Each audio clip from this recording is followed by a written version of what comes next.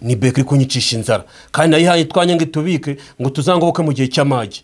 Nengeze mu gihe cy'amage ngiye kudufata nsanga badutsimbarayeho niba ari handi handitse ngo bene byo bitsimbarayo ariko nta nubwo ari n'ayabo kuko n'ayanjye niyo mpamvu beka beka beka ifite serivisi mbi kugira ngo imborokere amafaranga. Iyi nzara mfite uyu mudari mfite uku kubogoza mfite byose byatewe na beka kandi beka sindi kwiguza nta inguzanyo ndi kuyisaba ni ibyanjye najyanye nakoreye naruhiye byavuye mu mitsi yanjye ndayihereza ngo imbikire nk'uko ubutegetsi amate- amategeko ya leta tubwira ngo tubike twizigame. Twizigame ejo hazaza ngo ntituzasaba abo twimye. Ahubwo ubu ngiye gusabaho nimye kandi narazigamye. Beka ni cyo kibazo. Umunyamakuru w'ishema tv niyo nsenga diyodoni uzwi nka cyuma hasani aravuga ko inzara imumereye nabi nyuma yo kujya kubikuza amafaranga ye. Ari kuri konti afite muri banki ya kigali beka ishami rya kimironko bakamubwira ko konti ye yafatiriwe bisabwe n'ikigo cy'igihugu gishinzwe imisoro n'amahoro rwanda reveni otoriti ku kivuga ko kibereyemo umwenda watemera bityo ko atemerewe kugira ayo abikuza. Aganira n'umubavu doti komu tv onorayine niyo nsenga diyodone uzwi nka cyuma hasani yavuze ko ibyamukorewe ari akarengane ndetse atumva ukuntu rwanda reveni otoriti itanga amabwiriza ku mutungo we bwite kandi ari ntavogerwa. Nibwo nakoze iri kiriya kiganiro ku ishema tv kuko ni rwo ruvugiro rwanjye ni uruvugiro rw'abanyarwanda. Ndangije mbishyira kuri twitter nshaka kugira ngo mbimenyeshe inzego bireba ko zakoze amakosa kugira ngo zimfatire. Mu by'ukuri njye beka aka kanya niyo mfitanye na yo ikibazo. Ni gute yagiye kumfata amafaranga yanjye ikayaboroka niba narayihaye amafaranga yanjye ngo imbikire ntabwo nayihaye ngo igiye kuyatanga cyangwa ntabwo nayihaye ngo igiye kuyakoresha mu nyungu zawe bwite. Amafaranga ni ayanjye ni umutungo wanjye bwite kandi amategeko avuga ko umutungo w'umuntu ari ndakorwaho. Kereka igihe. Byategetswe n'umucamanza ko niba ufite ububasha bwo kuba umutungo w'umuntu watambamirwa cyangwa se umutungo ukaba wafatirwa. Kandi rero n'icyo cyemezo cy'umucamanza. Nacyo ntacyo kuko nta cyabandega nta kintu bankurikiranyeho ahubwo ni bya byatebye hano mu rwanda byo gushaka kubuza umuntu amahwemo. Ni beka ni beka rwose ni kumbuza amahwemo. N'umudari inzara ruvuze yakomeje avuga ko yiteguye kwitabaza inkiko hagakurikizwa amategeko kuko kuba beka yaramutengushye ku cyizere yari yayigiriye akayibitsa amafaranga ye yakoreye yiyushya kuye. Ngo kuba yari amaze iminsi afunzwe nta wakwitwaza ko bamubuze kuko atari afungiwe mu mahanga yari afungiye i mageragere. Ndetse mu buryo bwemewe n'amategeko bityo ko uwari kumushaka yari kubaza aho yamusanga aho kuvogera umutungo we tabimenyeshejwe none akaba agiye kwicwa n'inzara. Gukora iki ngiki cyo nkora? Mu gitondo igihe icyo ari cyo cyose ndabyukira kuri rwanda reveni kuko njye mfite ukuri mfite amategeko mfite uburenganzira bwanjye bwo kubaza ibyanjye. Kandi ndajyayo. Nimvayo noneho ngewe uretse ko no kujya kuri rwanda reveni nta n'impamvu yo kujyayo. Kuri rwanda reveni sindaba mbabaza iki. Ahubwo ndajya kuri beka kandi icyo ngiye gukora nk'uko wari umbajije ni ukwitabaza amategeko ni ukwitabaza amategeko. Ingingo z'amategeko zirahari. Tukajya mu mategeko niba ari byo bashaka nyine. Ubwo beka umugabo agatsinda. Ariko ntabwo bantsinda kuko njye amafaranga nyine bayahakana. Amafaranga arahari. Ni beka iri kunyicisha inzara. Kandi nayihaye twanya ngo itubike ngo tuzangoboke mu gihe cy'amage. Nengeze mu gihe cy'amage ngiye kudufata nsanga badutsimbarayeho niba ari handi handitse ngo bene byo bitsimbarayo ariko nta nubwo ari n'ayabo kuko n'ayanjye niyo mpamvu beka beka beka ifite serivisi mbi kugira ngo imborokere amafaranga. Iyi nzara mfite uyu mudari mfite uku kubogoza mfite. Byose byatewe na beka kandi beka sindi kwiguza nta inguzanyo ndi kuyisaba ni ibyanjye najyanye nakoreye naruhiye byavuye mu mitsi yanjye. Ndayihereza ngo imbikire nk'uko ubutegetsi amate- amategeko ya leta tubwira ngo tubike twizigame. Twizigame ejo hazaza ngo ntituzasaba abo twimye. Ahubwo ubu ngiye gusabaho nimye kandi narazigamye. Beka ni cyo kibazo. Tumubajije wenda niba hari ideni ry'imisoro yaba abereyemo rwanda reveni otoriti niyo nsenga yavuze ko ntaryo ahubwo yatunguwe no kumva umwe mu bakozi ba beka amuhamagara amusaba ko yajya ku cyicaro cyayo gusinya inyandiko yemeza ko amafaranga ari kuri konti ye yakoherezwa kuri konti ya rwanda reveni iri muri banki nkuru y'igihugu beneri rwanda reveni se nyigiramo irihe deni nta deni rwanda reveni yifitiye ko nta ko n'umucuruzi we nyifitiye imisoro. Rwanda reveni si iyo deni se naba mfite ubundi yo itararimenyesheje. Kuko amategeko avuga ko niba ubundi imisoro nta nubwo bayituma kuborokera ntabwo imisoro ituma kuborokera ahubwo baguha integuza bakakubwira ngo tanga imisoro igihe n'iki kirageze igihe n'iki kirageze. Iyo misoro rwanda reveni itagaragaza ngo inyandikire ibara ivuga iti wanyereje imisoro iyi n'iyi n'iyi n'iki gihe iki n'iki n'iki n'iki n'iki byagenze gutya. Ahubwo ikihutira kujya gufunga ntabyo nta nta kintu nta kintu nyagiza rwose rwanda reveni umukozi mu ishami rishinzwe iby'amategeko muri beka marara aimable aganira n'umubavu tv online n'umubavu doti com yavuze ko ibyo rwanda reveni yakoze ibyemererwa n'amategeko. Akomeza avuga ko urwego rw'ubutabera n'urw'imisoro bifite uburenganzira bwo kwaka amakuru kuri konti y'umukiriya bishingiye ku mategeko. Ayo makuru ntabwo aba ari nako ayo mategeko ntabwo aba ari abusori ni ukuvuga ngo ntabwo ari ntayegayezwa ijana ku ijana. Haba hari andi mategeko ashobora ku bijyanye n'umusoro ashobora kuza urwego rufitiye ububasha cyangwa urundi rwego rw'ubutabera?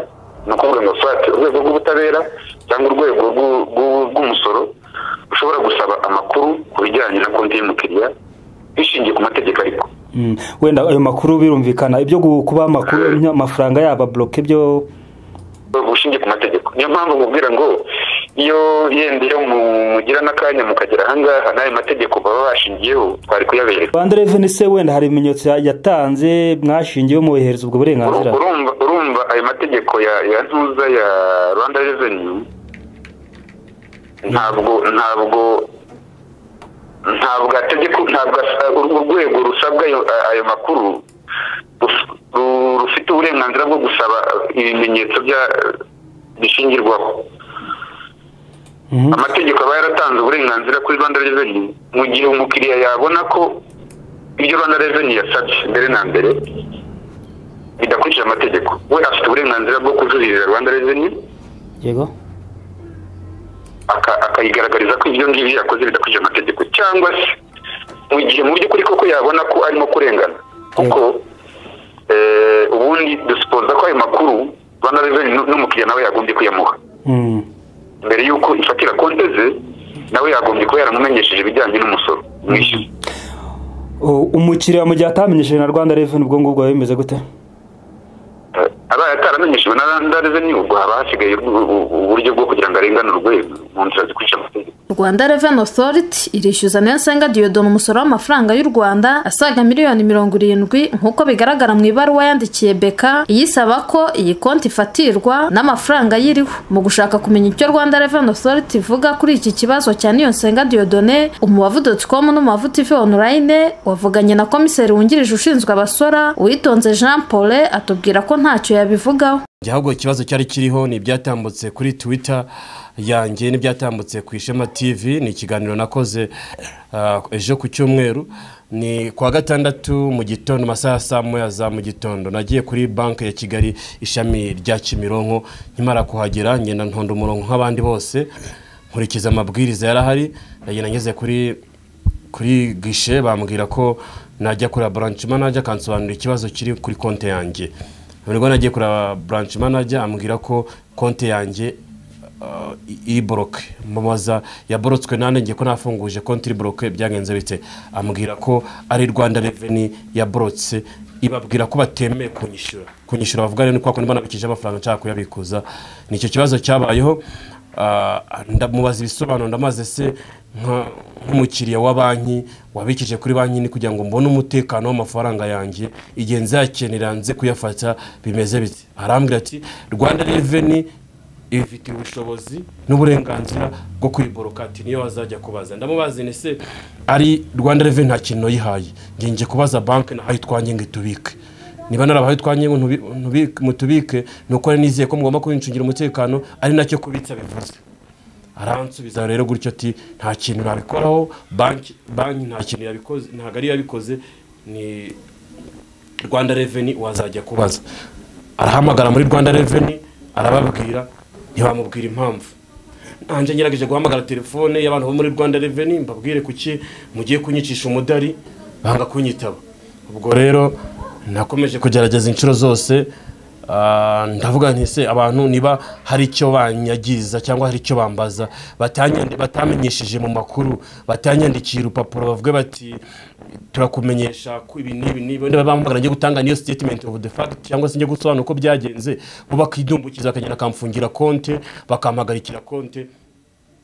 Nibwo nakoze iri kiriya kiganiro ku ishema tv kuko ni rwo ruvugiro rwanjye ni uruvugiro rw'abanyarwanda. Ndangije mbishyira kuri twitter nshaka kugira ngo mbimenyeshe inzego bireba ko zakoze amakosa kugira ngo zimfatire. Mu by'ukuri njye beka aka kanya niyo mfitanye na yo ikibazo. Ni gute yagiye kumfata amafaranga yanjye ikayaboroka niba narayihaye amafaranga yanjye mbikire ntabwo nayihaye ngo igiye kuyatanga cyangwa ntabwo nayihaye ngo igiye kuyakoresha mu nyungu zawe bwite. Amafaranga ni ayanjye ni umutungo wanjye bwite kandi amategeko avuga ko umutungo w'umuntu ari ndakorwaho. Kereka igihe. Byategetswe n'umucamanza ko niba ufite ububasha bwo kuba umutungo w'umuntu watambamirwa cyangwa se umutungo ukaba wafatirwa. Kandi rero n'icyo cyemezo cy'umucamanza na cyo ntacyo kuko nta cyabandega. Nta kintu bankurikiranyeho ahubwo ni bya bindi byatebye hano mu rwanda byo gushaka kubuza umuntu amahwemo. Ni beka ni beka rwose kumbuza amahwemo. N'umudari inzara ruvuze.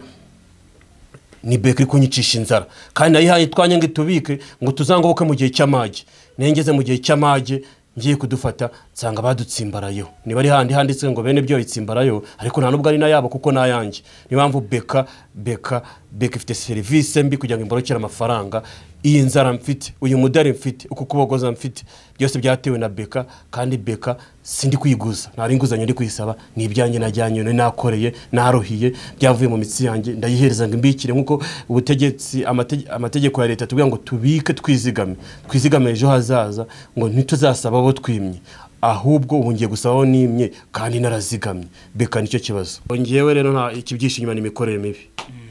Iyo umuntu ari mu karengane cyangwa afite ikibazo hari urwego aba yumva yabaza cyangwa akaba yakwitabaza.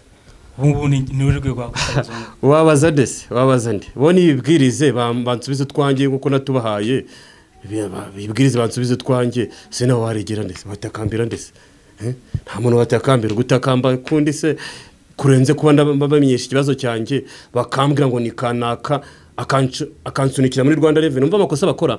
Ndamubaza ibyanjye namuhenga mbikire nabimubaza ngo baza rwanda reveni kandi njya gufunguza konti ntabwo nagiye kuzana rwanda reveni njya kuzuza ibisabwa byose amafaranga nyakorera njya guca inshuro nkakoboka nkazana amabavu. Iyo rwanda reveni sinindi kumwe na yo. Ntumva rero gusa abantu bakitana ba mwana ngo genda ubaze rwanda reveni rwanda reveni sindayibaza iki? Ko mbaza beka nahaye na- ngibi- ngitubike nzadutamire mu gihe cy'amage nk'uko nabikubwiye. Amage nkaba nyagezemo.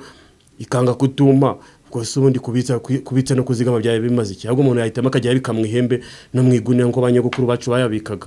Ariko wenda si wo muco mwi- waba ari mwiza ariko kugira ngo nyashiremo bayaboroke ngo ni ukugira ngo mbike muri banki njye amafaranga yanjye tu?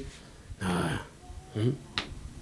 ni byo ngibyo njye nayajyana najya kuyabika mu gafuka. No si isomo mfite. Eh, Mm. ese bundi hasani akunze ku kibazo cyawe urumva beka yavuze ko ari rwanda reveni hari ideni waba ufite rwanda reveni rwanda reveni se nyigiramo irihe deni nta deni rwanda reveni yifitiye ko nta ko nta n'umucuruzi ngo nyifitiye imisoro.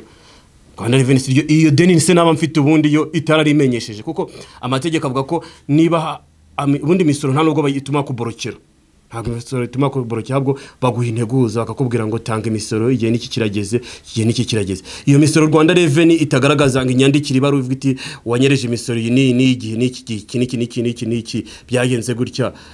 Ahubwo ikihutira kujya gufunga ntabyo nta kintu nta kintu nyagiza rwose rwanda reveni kugeza kuri uyu munota cyangwa kuri iyi saha beka nta kintu irakubwira ku bijyanye n'uburyo kino kibazo cyawe cyakemuka.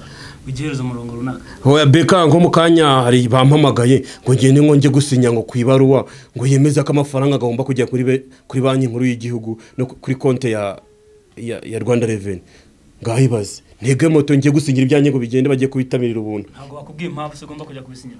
Oya ntabyo bambwiye. N'ubu ngende ngo fate akamoto ngo uze ngo dupange ngo usinye ngo ku iyo baruwa ngo amafaranga ajye kuri konti ya ya rwanda reveni ukibaza ibyo bintu ibi bintu abantu bishoyemo ni bwoko ki? Ibi bintu bi- sinzi n'ahantu ibintu biri guturuka muri iyi minsi. Hari abantu bagiye ibintu bisigaye biri kubera mu gihugu cyacu ntawamenya. Umuntu asigaye abaho akajya kumva utwe baratumwatse. Wagira ngo turi muri cya gihe cya za mirongo itanu n'icyenda niba ufite ibikingi wifitiye intabire epfiriya mu cyaro nimugoroba wakandagizamo ikirenge bakakuvuna amaguru. Sinzi ibintu ahantu byavuye rero njye rwose ibintu byanyobeye. Eh, none kuvuga ngo ibintu byakuyobeye urateganya gukora iki? Ah, gukora iki ngiye icyo nkora? Mu gitondo igihe icyo ari cyo cyose ndabyukira kuri rwanda reveni kuko njye mfite ukuri mfite amategeko mfite uburenganzira bwanjye bwo kubaza ibyanjye. Kandi ndajyayo nimvayo noneho ngewe uretse ko no kujya kuri rwanda reveni nta n'impamvu yo kujyayo. Kuri rwanda reveni se ndaba mbabaza iki. Ahubwo ndajya kuri beka kandi icyo ngiye gukora nk'uko wari umbajije ni ukwitabaza amategeko ni ukwitabaza amategeko. Ingingo z'amategeko zirahari. Tu- tuka- tukajya mu mategeko niba ari byo bashaka nyine. Ubwo beka umugabo agatsinda. Ariko ntabwo bansinda kuko njye amafaranga nyine bayahakana. Amafaranga arahari. Mu buryo bweruye witeguye kujya mu manza hamwe na beka? Itagize ikindi kibazo. Muri rusange muri rusange batansubije ibyanjye. Batansubije ibyanjye. Pe ibi bintu bimaze kurambirana. Ndabashyikiriza umucamanza. Ndabashyikiriza umucamanza afata icyemezo kuko ah, ndi umwe mu bantu mu ijwi rimwe nshaka kuvugira imbaga nyamwinshi. Muri iyo mbaga nyamwinshi mvugire n'abaturage ngewe niyo mpamvu ugomba ku- gufata iya mbere nkabageza imbere y'ubutabera. Hari umukozi cyangwa undi uwo ari we wese afite ahurira na rwanda reveni ugeze guhamagara wenda ku- ku- kubwisha kuri icyo kibazo. N'iryo deni wenda niba ari ntahari simbizi Ah, icyo bahamagara ntabwo ari ukumpamagara ikibazo. Barampamagara ku byo natangaje. Ubundi ubu ngubu uriya yuko twagize amahirwe ah, uwiteka akatwihera akatwihera impano yo kubasha kuvuga no gusobanura ibintu akaduha naho kubisobanurira akaduha n'imbaraga zo kubisobanura kuko hari abantu bagira ibintu byo gusobanura ariko ntibagire imbaraga zo kubisobanura. Yuko twagize uwo mugisha uwiteka akatwihera iyo mpano naho ubundi se yaba guhamagara kubaza ibyo by'inuza yampamagaye arambwira ngo ibintu natangaje si byo ni bwo ibyo natangaje atari byo reka njye kuri beka njye gufata udufaranga twanjye wenda niba atari banga umuyobozi ashinzwe iki? Yambwi- yamanje kumbwira ngo ni umunyamakuru yitwa yitwa Paulin yamanje kumbwira ngo ni umunyamakuru ngo inkuru natangaje siyo. Ndamubwira ariko niba inkuru natangaje atariyo itegeko amahame y'itangazamakuru avuga ko niba hari icyo umuntu yatangaje kitakunyuze. Ufite uburenga amategeko akwemera kuza umwanya igitangazamakuru cyakoresheje kivuga iyo nkuru nawe kikaguha umwanya ungana n'uwo bakoresheje ukabinyomoza. Maze kumukubita uwo mutego ni bwo yahise ambwira ngo ya ngo njye ndi komiseri. Ngo ndi komiseri ngo ni byo byose birimo. Ngo ibintu watangaje ntabwo ari byo byose niba atari byo rero ngewe nikamubwire beka nimba amafaranga yanjye. Ntabwo yigeze ansobanurira ambwira ati ufite imisoro kuva iki gihe iki n'iki n'iki n'iki n'iki n'iki n'iki n'iki n'iki? Twaragufatiriye. Kuko n'undi ntego uhita amubaza ese iyo misoro umbwiye ubu? Umbwiye ubu? Utamenyesheje mbere ni imisoro bwoko ki? Iva hehe ukibaza ngira ngo abantu benshi barabimenye nari mvuye muri gereza. Hari umuntu umushiti wanjye wambwira ati wenda ushobora kuba waragiye muri gereza bakaguca imisoro ya kiriya gitanda waryamaga nta n'amashanyarazi wakoreshaga. Uwo muntu ndamusubiza njyewe ntaho nagiraga ho kuryama. Gufungwa kwanjye ntabwo ari rwanda reveni yabigizemo uruhare ariko gufungwa kwanjye hari umuntu wabigizemo uruhare. Kandi uwo muntu wabigizemo uruhare ashaka kugukomatanyiriza agahamagara ahantu ahantu hose ashobora kubona bishoboka ati mubigenze gutya. Mumubeshere mumushireho ibi. Ehida nabo icyo mbakundira baravuga ngo reka tumubeshere. Ngo mumubeshere ibi. Rero muri iyo kadere yo kunshakira ibyaha ngiye kuba muri gereza banyangisha abaturage bati ni- kizamwe n'icyaha cyo kuba cyarariye umutungo w'igihugu kigaragare nabi. Abaturage batakomeza kugukunda kuko akenshi na kenshi abanyeshyari iyo babonye hari abantu bakuri inyuma ishyari rirabarya. Bakakujyanisha muri iyo gereza bakakujyana ahantu ushaka kugongana n'utwo tumenyetso ah, tw'amafuti kugira ngo bakurundireho ibyo byaha. Hari muri iyo kadi rero yo kugira ngo ndimirweho ibitaka. Ngendeye ku magambo uvuze ngo n'iyo misoro niba inahari iryo deni rihari. Ntabwo uryemera ntabwo uzi ahantu ryavuye. Ntaho iryo deni se ryavuye he? Ngewe kampani mfite ishema tv online. Yatangiye gukora gukora ku itariki makumyabiri n'enye z'ukwa cyenda umwaka ushize ibihumbi bibiri na cumi n'icyenda. Hashize amezi ane bampambiriye amaboko inyuma bajya kumfunga. Ayo mafaranga se yaba aravuye he niyo kampani ko itanayi- ko itanayinjiza ahubwo ni kwa kuremekanya ni kwa kuremekanya kuko abantu kenshi na kenshi iyo batakwifuriza neza iyo batakwifuriza neza bagenda bagushyiraho ibibire mu by'ibyaha bakubitaho ibire mu by'ibyaha bakabiremekanya. Niyo mpamvu kuko ni na yo mpamvu ubona aka kanya mbaje muri rwanda reveni nta kintu bansubiza. Ntabwo ni kuki mwamfungiye amafaranga? Nta kintu bansubiza. Barambwira ngo uzaze turebe uzaze turebe ngo uze muri rikavari ngo uzaze ngo turebe muri rikavari kandi noneho n'umuntu uguhamagara rimwe na rimwe ugasanga nta makuru afite afite. Noneho beka na yo ikaguhamagara abo bose izo nzego ebyiri nta nubwo ziri kumpamagara zimbaza ikibazo mfite. Zirahamagara bitewe n'icyo natangaje. Rero natangaje ni byo byabariye kandi kuba nabitangaje ni uko byabaye. Ahubwo bo ntibakemura ikibazo ngo bansubize kuri banki cyangwa bambwire niba ndi bumwe mu banyarwanda batemeye kubitsa mu bigo by'imari batemeye kubahiriza gahunda za leta y'igihugu cyacu dukunda.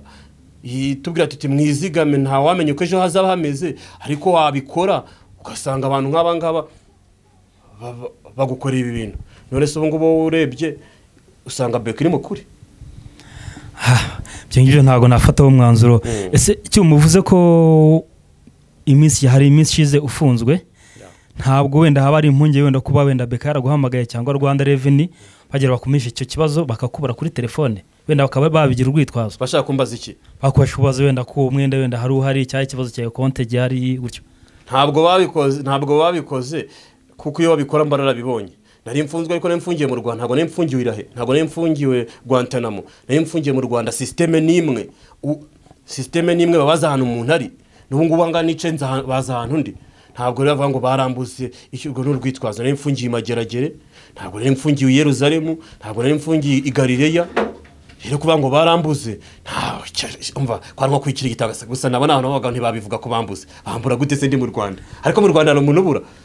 Eh? niba ntacyo wongeraho turagushimiye. Ni njyewe washimiye Eh, za- eh.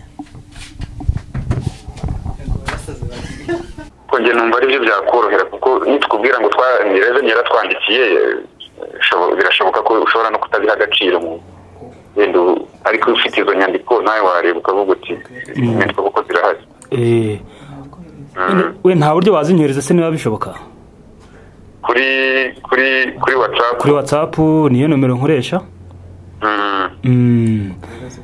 ikindi twanibazaga ese umukiriya we yigeze azihabwa twebwe twara urumva bamaze kutwandikira. Mm. eh, natwe twateguye ibaruwa yo kumenyesha umukiriya ko eh, ibijyanye n'iryo fatira ryavuye muri rwanda reveni otoriti umukiriya iyo baruwa yarayibonye umukiriya rero kuri telefoni yaduhaye turamushaka turamubura. Duhamagara undi an kontakite wundi nawe ntiyabasha kuza. We yari yashyizeho nka nka point of contact. Mm. Ibaruwa n'ubu ngubu uje wayibona ndumva byarakozwe mu kwa cumi. Mm. ku ushize Mm. ese ubundi rwanda reveni yavuga ko impamvu ari iyihe? Eh, urumva rwanda reveni ivuga ko ayibereyemo umwenda w'amafaranga. Mm. ibi bintu bisanzwe bikorwa? Eh, bisanzwe bikorwa. Bisanzwe bikorwa. Rwanda reveni ifite uburenganzira bushingiye ku mategeko. Eh, wenda nk'urwego muhagarare nk'umunyamategeko nk'ibi bintu ubona bitabatakariza kwizerwa credibility gutyo mbere y'abakiriya cyane cyane ko abakiriya bumva ko amakuru babahereza bari ibanga. N'umuntu na konti ikaba ari umutungo bwite.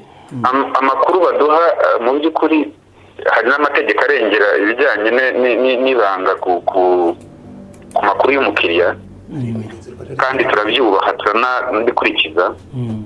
Ariko ayo makuru ntabwo aba ari nako ayo mategeko ntabwo aba ari abusori ni ukuvuga ngo nta- ntabwo ari ntayegayezwa ijana ku ijana Mm. haba hari andi mategeko ashobora ku bijyanye n'umusoro ashobora kuza urwego rubifitiye ububasha cyangwa urundi rwego rw'ubutabera ni ukuvuga ngo swati urwego rw'ubutabera cyangwa urwego rw'u- rw'u- rw'umusoro rushobora gusaba amakuru ku bijyanye na konti y'umukiriya bishingiye ku mategeko ariko. Wenda ayo makuru birumvikana. Ibyo kuba amakuru amafaranga yaba bloke byo bushingiye ku mategeko. Niyo mpamvu mubwira ngo iyo yenda iyo mugira n'akanya mukagera ahangaha n'ayo mategeko baba bashingiyeho twari kuyabereka. Rwanda reveni se wenda hari ibimenyetso ya- yatanze mwashingiyeho mubohereza ubwo burenganzira. Urumva ayo mategeko ya ya ntuza ya rwanda reveni ntabwo ntabwo ntabwo ntabwo uru- urwego rusabwa ayo ayo makuru ruf- ru- rufite uburenganzira bwo gusaba ibimenyetso bya bishingirwaho. Mhm. amategeko aba yaratanze uburenganzira kuri rwanda reveni mu gihe umukiriya yabona ko ibyo rwanda reveni yasabye mbere na mbere bidakurikije amategeko. We afite uburenganzira bwo kujuririra rwanda reveni akayigaragariza ko ibyo ngibyo yakoze bidakurikije amategeko. Cyangwa se mu gihe mu by'ukuri koko yabona ko arimo kurengana. Kuko eh, ubundi dusipoza ko ayo makuru rwanda reveni n'umukiriya nawe yagombye kuyamuha. Mm. mbere y'uko ifatira konte ze nawe yagombye kuba yaramumenyesheje ibijyanye n'umusoro mwishyuza U- umukiriya mu gihe atamenyesheje na rwanda reveni ubwo ngubwo biba bimeze gute? Eh, abaye ataramenyeshejwe na rwanda reveni ubwo haba hasigaye uburyo bwo kugira ngo arenganurwe mu nzira zikurikije amategeko. Wenda nk'umunyamategeko ni nk'iyo nama nyine wagira uwo mukiriya Ah, urumva kumurikira. biragoye ntabwo ngewe namugira kuko urumva ntabwo nubwo ndi umunyamategeko ndi umunyamategeko wa banki ntabwo namugira inama. Ariko banki ubereye umunyamategeko umukiriya ni umuntu wawe. Nk'umu- nk'umukiriya wa banki atugaragarije ko ibyo bitabaye. Icyo gihe natwe twahita twandikira reveni tukayisaba. Mm, twi- twi- tuyibwira tuyisaba ngo nigaragaze uburyo yamenyesheje uriya mukiriya. Nubwo mu by'ukuri mu busanzwe iyo otorite ntayo dufite ariko mu rwego rwo kurengera umukiriya twamusaba twasaba reveni natwe. Mm. none ko uwo mukiriya avuga ko nta kintu yigeze amenyeshwa? Ubwo urumva uretse uretse mbere mbere y'uko mbere y'uko yenda nawe kuko kugira ngo amenye ko konti ze zifunzwe hari uburyo yabimenye. Yagiye kuri banki kuri branch ya kimironko Mhm. bamubwira ko rwanda reveni Eh, yavuze ko konti ye igomba gufungwa. Nibwo yabimenye Mm, yabimenye kuri gisha hari hari indi demarishe yindi se yakoze kugira ngo arebe ko yarenganurwa? Swate yandikira beka cyangwa ayi- ayisaba mu bundi buryo? Si na ngombwa kwandika kwa- Mm. natwe tubimenye twabisanze kuri cye. Twabibonye kuri ya ni ho suri niyo source ya information dufite ubu ngubu urumva rero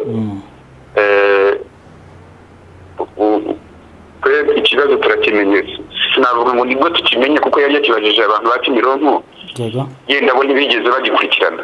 Ariko nk'urwego rushinzwe amategeko kuko kimironko uretse ku- kuba babibona muri sisiteme ntabwo ari bo babikoze. Mm.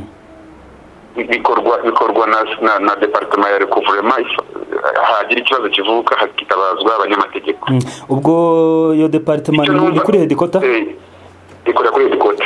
Icyo numva rero cyashoboka Mm. Icya mbere ni uko twiteguye kumufasha gukurikirana ibijyanye n'uburenganzira bwe. Yego. Bwose yego. Yenda ntituvuga ngo ayo mafaranga turi buyarekure ariko dufite uburenganzira bwo kugira ngo tumufashe amenye n'impamvu ayo mafaranga yafatiriwe. Yego. Eh, Harya- ikindi cya kabiri mu gihe mu gihe rwanda reveni yaba koko ifite eh, ibijyanye n'umwenda imubaraho ubwo haba hasigaye nawe nk'umu- nk'umu- kuko urumva icya mbere nubwo turengera uburenganzira bw'u- bw'umukiriya wacu ariko nta nubwo dushobora gukingira ikibaba umuntu waba dufata urugero atishyura umusoro wa leta. Mm. ntabwo twishyuza umusoro twebwe. Ariko urwego rwa leta rero rubidusabye cyane cyane ko harimo ingingo ivuga ko mu gihe utabikoze ari wowe wishyura wa musoro.